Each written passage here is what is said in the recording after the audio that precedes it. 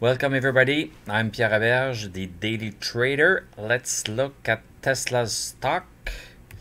So um, let's look at what happened uh, on uh, Friday, the 26th of uh, fe February.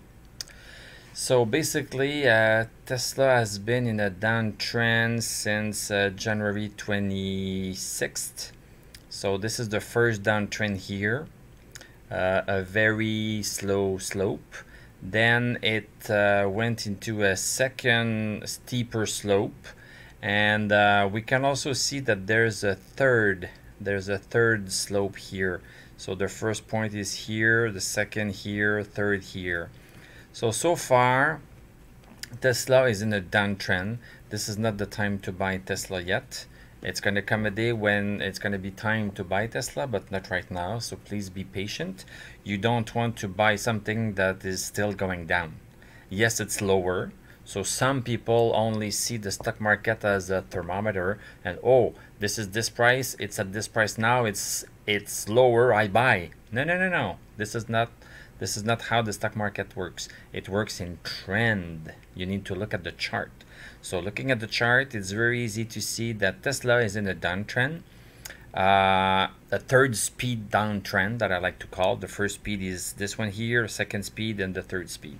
The third speed I drew in a light color because uh, the third speed is less less important or less critical so um, it's very possible that the stock goes sideways uh, and then breaks uh, the third down trend and and obeys to the second one. So this is why I drew it in the light color. So we also see that uh, this horizontal line here is really well respected. So the stock on the 23rd of February closed or closed above here opened opened here and closed here. So it respected this horizontal resistance then went a bit higher and now it's been touching. It touched on Friday last Friday. It touched that horizontal resistance again. So which resistance is going to win is it the third downtrend resistance the third uh, trend line that that is going to win? Or is it the support line that is going to win? We'll see on Monday or Tuesday. So right now it's not a buy. Um, is it a sell? Well it could be a sell if it breaks this horizontal line.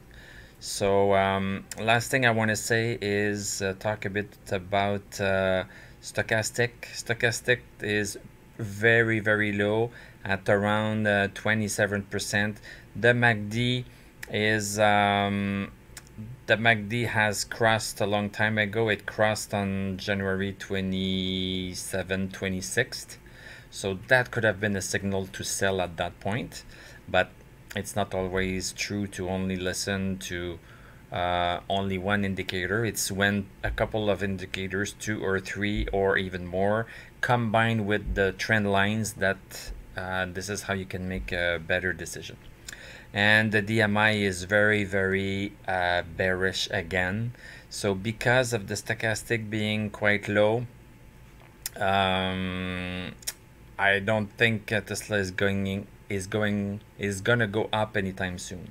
So basically what I am expecting Tesla to do there are two choices that I see is that it's gonna go sideways until it hits the third trend line and then follow it or it or it is going to um, go sideways respecting the horizontal support but then obey to the third to the second trend line like this of course of course it can it can go back up we we never know for sure but uh, most likely one of these two scenario will happen so uh, we'll see. This is not financial advice. This is only my opinion.